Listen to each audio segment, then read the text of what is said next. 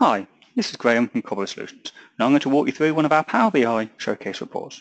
Now this dashboard came about from conversations in our offices where certain members of our team were competing with their Fitbit stats while also talking about Power BI. So I thought, why not combine the two? So what we've got here is the Cobweb Fitbit face-off. Now I've taken a small sample of data from a handful of people, looking specifically at activity and sleep results for the first few weeks of April. This whole dashboard took around an hour to put together when first looking at the data. The dashboard is now in a true location on our internal dashboard displays to allow people to continue to compete with their data. So let's look at what the results are. You'll see along the bottom we have five separate reports looking at looking specifically at calories, walking and sleep stats, as well as an individual activity report and a daily comparison report. For calories, we split the screen into two sections. First, looking at total calories burned, and secondly, looking at active calories burned along the bottom. And we've used three different visualization types. Firstly, using either an area or line chart to see over time overall burning of calories. And then looking at average calories burned. We've used averages to allow us to adjust for the fact that Emma has only recently started her Fitbit and still get like-for-like -like comparisons.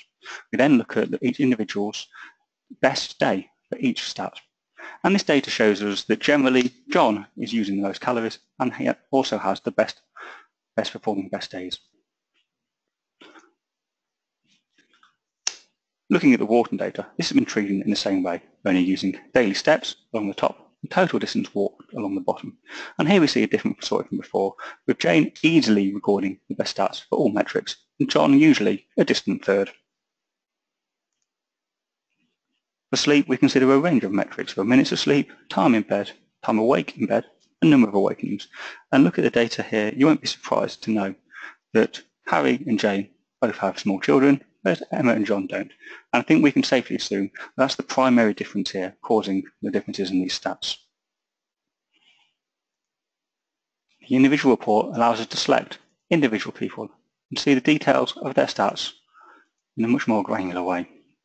And Daily Dashboard Report allows us to select any given day and compare exactly what each person did on any given day. All of this is created from a very basic data set, and this shows what you can achieve very easily using Power BI to analyze your data. If you want to find out more, please contact us using the details on your screen now. Thank you for your time.